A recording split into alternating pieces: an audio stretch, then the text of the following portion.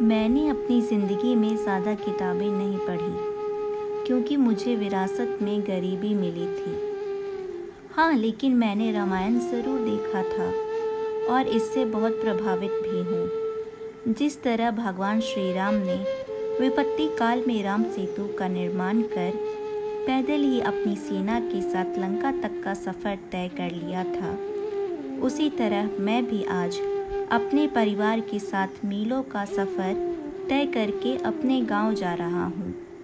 मैं भारत का मजदूर हूँ, शायद इसलिए मजबूर हूँ। आज मेरे बच्चे के सर पर उसकी वज़न से भी ज़्यादा भारी भरकम मोटियों का बोझ है। उसकी नन्ही नन्ही कद में इन बड़े शहरों की हाईवे की चौड़ी सड़कों को नाप नहीं पाती। वे बार बार इन सड़कों पर बैठ जाता है और रोकर कहता है, पापा, मैं बहुत थक गया हूँ। मेरे पैरों में दर्द हो रहा है। मुझे भूख लगी है। उसके ये शब्द सुनकर मेरा मन रो उठता है। लेकिन क्या करूँ? मैं भारत का मजदूर हूँ, शायद इसलिए मजबूर हूँ।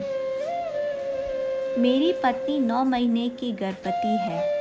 इस कोरोना काल में हमारे परिवार की भूख से अकाल मृत्यु ना हो जाए, इसलिए वह भी हमारे साथ पैदल ही मीलों का सफ़र तय कर रही है। अभी एक घंटे पहले ही उसे प्रसव पीड़ा शुरू हुई थी। अब वह मेरी आँखों के सामने खून से लथपथ पड़ी है। दर्द से छटपटा रही है। बच्चा गर्भ से बाहर आ चुका है। बहुत कमज़ोर है। और अभी तक उसकी नाभि भी नहीं कटी है। ऐसी स्थिति में मैं क्या करूँ? मुझे कुछ भी समझ नहीं आ रहा। दूर दूर तक मदद के लिए कोई भी नज़र नहीं आता। मेरे मित्र तो मेरे साथ हैं, लेकिन वह डॉक्टर तो नहीं। मेरी आँखों के सामने मेरी पत्नी और मेरा बच्चा दोनों तड़प कर मौत के मुँह में चले गए और मैं सर पर हाथ रख अपनी बदकिस्मती का मातम मनाते रहा। मैं भारत का मजदूर हूँ, शायद इसलिए मजबूर हूँ। इस करोना काल में मैंने कैसे कैसे दिन देख लिए? मुझे जख्मी हालत में ट्रक में शवों के साथ बैठाकर अपने राज्य भेजा गया। शवों के साथ सफ़र करते समय मुझे पूरे रास्ते यही डर सताता रहा कि कहीं मैं घर जाने से पहले खुद ही एक शव में तब्दील ना हो जाऊँ। स्टेशन पर पड़ी अपनी माँ के शरीर के साथ मेरा बच्चा अटखेलियाँ करता रहा और इंतज़ार कर रहा था कि माँ जागेगी तो उसे कुछ खाने के लिए देगी लेकिन उस मासूम को क्या पता था कि माँ तो कब का मर चुकी है कड़कती धूप और तड़पती भूख ने उसे कभी ना जागने वाली गहरी नींद सुला दिया है। मैं भारत का मजदूर हूँ, शायद इसलिए मजबूर हूँ। कल तक मैंने गाड़ियों के पहियों तले जानवरों को रौंदे जाते हुए देखा था, लेकिन आज तो मैं खुद इन पहियों तले रौंदा जाने लगा हूँ। निरंतर चलते चलते जब मैं थक गया तो रेल की पटरियों को अपना तकिया बना सो गया। नींद इतनी गहरी थी कि ट्रेन मेरे ऊपर से गुजर गई और मुझे पता तक नहीं चला। जब होश आया तो मैंने देखा कि मेरा शरीर टुकड़ों में पटरियों पर बिखरा पड़ा है। मेरी रोटी दाल, जो मेरे पेट की आग बुझाने वाले थे, अब वह भी मेरे खून में सन चुके थे। कई नेता आए उन्होंने एक दूसरे पर कीचड़ उछाला। कुछ ने फ़िल्में भी बनाई और उसे यूट्यूब पर लॉन्च भी किया, मगर मेरी स्थिति में कोई परिवर्तन नहीं आया।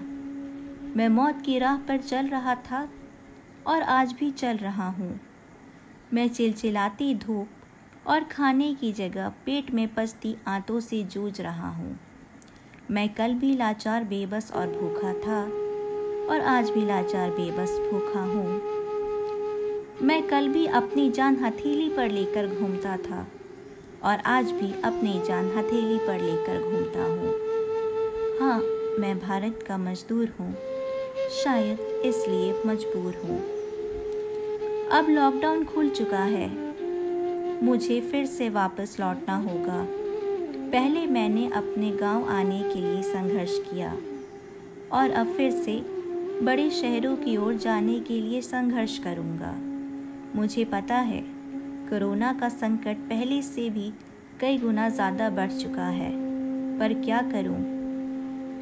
मजदूर होना मुझे पता है कि भूख की आग क्या होती है भूख की आग में तिल तिल तड़प कर मरने से आसान मौत कोरोना की मौत मरना है मुझे पता है जिस तरह मेरे कुछ भाइयों ने घर लौटते वक्त अपनी जान गंवाई थी, उसी तरह उन्हें अब शहर आते वक्त भी शायद अपने प्राणों की आहुति देनी पड़ जाए। पर हम ज़रूर जाएँगे। मेरा भी घर परिवार है छोटे छोटे बच्चे हैं। मजदूर हूँ तो क्या हुआ? मेरे बच्चों के भी शौक हैं। I S I P S engineer बनने का उनका भी सपना है। और सपने तो गरीबी के गुलाम नहीं होते ना। गरीब पैदा होना गलत नहीं है, पर अपनी गरीबी से लड़े बिना हार मानकर एक गरीब की ही मौत मर जाना गुनाह है। मैं अपनी गरीबी से जी जान लगा कर लड़ूँगा, और अगर हार गया तो खुद को यह कहकर तसल्ली दे दूँगा कि हाँ मैं भारत का मजदूर हूँ, शायद इसलिए मजबूर हूँ। ये वीडियो अगर आपके दिल को छू गया हो तो इसे लाइक सब्सक्राइब और शेयर ज़रूर करें।